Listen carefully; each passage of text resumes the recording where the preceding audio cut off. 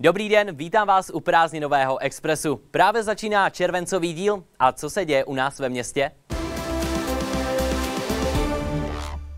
Kongresové centrum Aldis bylo v Hradci Králové otevřeno v roce 1993. Po téměř 30 letech se jeho 100% vlastníkem stane město. To doposud v Aldisu drželo 48% akcí. Odkup zbývajících za 620 milionů a 400 tisíc schválilo červnové zastupitelstvo.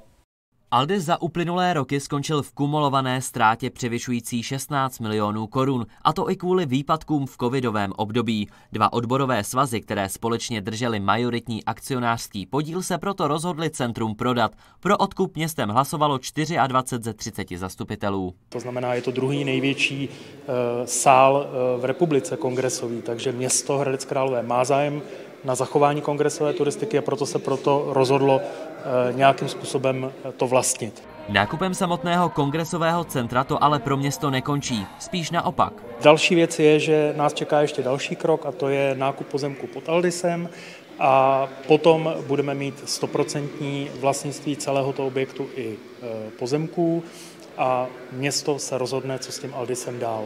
Zda ho bude provozovat nějakým způsobem samo, nebo zda ho svěří nějakému provozovateli, nebo zda se rozhodne úplně jinak, ale to už bude rozhodovat zastupitelstvo v nějakých dalších krocích. Pozemky pod Aldisem a přilehlým parkovištěm patří státu. Jejich nájem přijde ročně na 3 miliony korun. Podle odhadu by jejich odkup městem mohl stát 72 milionů. Patrik Andejsek, televize V1.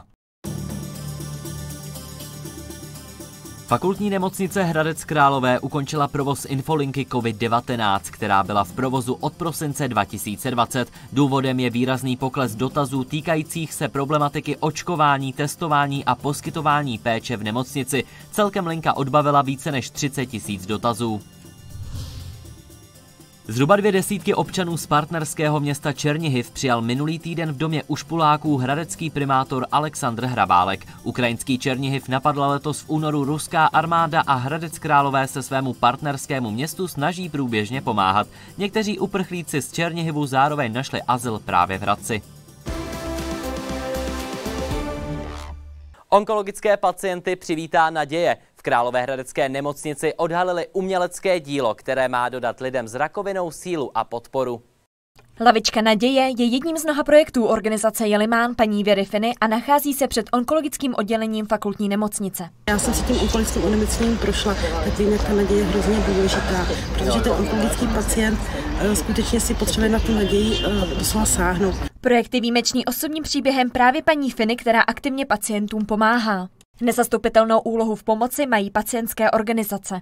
Oni opravdu jsou ti, kteří spolu s námi, s našimi lékaři a odborníky mohou pomáhat těm spolutrpícím a spolupacientům, vysvětlit jim, jak se mají chovat. Chystají se i legislativní změny, které pacientům usnadní život.